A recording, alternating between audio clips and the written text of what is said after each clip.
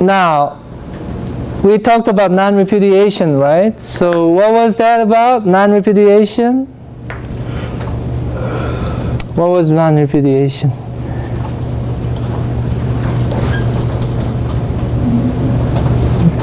We talked about this. James, what's non-repudiation? Repudiate means what? What? Yeah? So not, not being able to argue with the fact of what?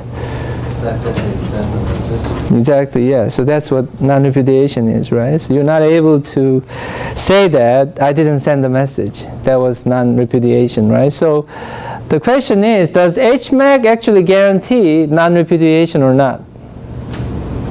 What do you think? Yes or no? No? Why? Yeah, so the key could be compromised, yes. Exactly. Is that what you were going to say? Yes. So HMAC cannot guarantee non-repudiation. What about digital signature? Yes or no? Is the answer yes? Why? Because? Because it has to use the um, uh, certificate. Right, because there is this third party, right, certificate authority that guarantees the relationship between the key and the organization, right? So that's why. Yes. Did you have a question? No. Okay.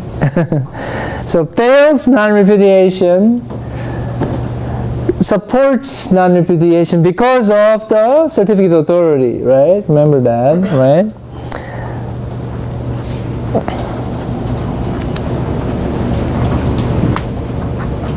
Okay.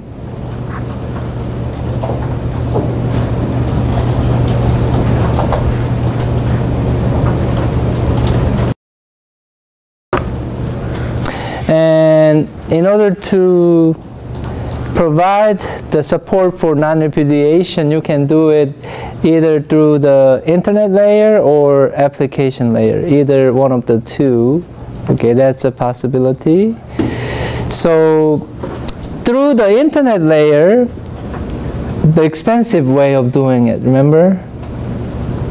Which was using the digital signatures and the uh, also the certificates. So packet by packet authentication and integrity verification, you can do it based on each packet being sent. Okay, that's one way of doing it. You can do it also at the application layer level. By the way, do you guys remember what the layers are again? The network layers? Physical, data link, network or internet, transport application, right? So application layer wise, you can still do the same thing, but in the internet layer, since we're talking about mainly talking about the packets, we can actually do the uh, packet by packet authentication and integrity check. You can do it there, okay? Or you can just do it at the message level uh, used by your applications at the very top, either way. Okay, so for example, something like this, right? We talked about, I think we started talking about something called IPsec, right? Remember? Transparency last time? so, we covered it. I think we stopped right there. Yeah, we did. Right, we, but we, we started talking about that. We were talking about VPN, right? So something like IPsec, I'm going to be covering the rest of it today, but uh, IPsec actually uses this. Okay, IPsec is really using the internet layer. Okay, and TLS and then secure socket layer. That's actually using which layer? Do you guys remember? Application. Not application layer. What was that? Transport layer. Yes, exactly.